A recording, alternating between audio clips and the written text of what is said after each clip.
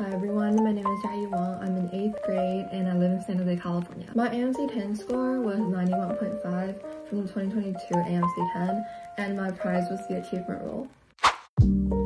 Is probably you have to like go back to the basics because when you just know a formula, like sure it's gonna be quick when you like only plug in values, but a lot of the times when you do complicated problems, it requires you to understand how it works because a lot of the times it requires you like to like manipulate the formula or the problem to make it like fit into like how you want it to be the easier way. Another one of that is you have to go back to the basics.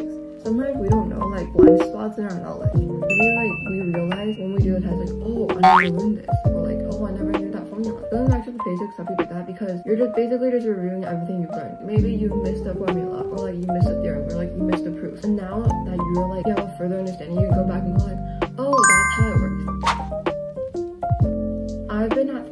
Since when I was like fourth or fifth grade, that's like three or four years ago.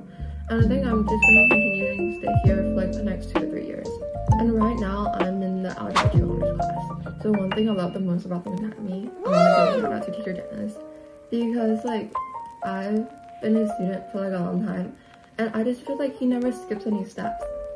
Like maybe like the calculations he skips, but like the important parts, he would like always write it down and emphasize on it. So whenever I miss something, I go back and like I'm not confused. I can just retrace the steps and be like, oh, this is how you do it. And I really understand it. And another thing I love, I feel like a lot of you guys really love this, but I really love the coin small because it's just really rewarding for me to buy stuff like it's something I like. So yeah.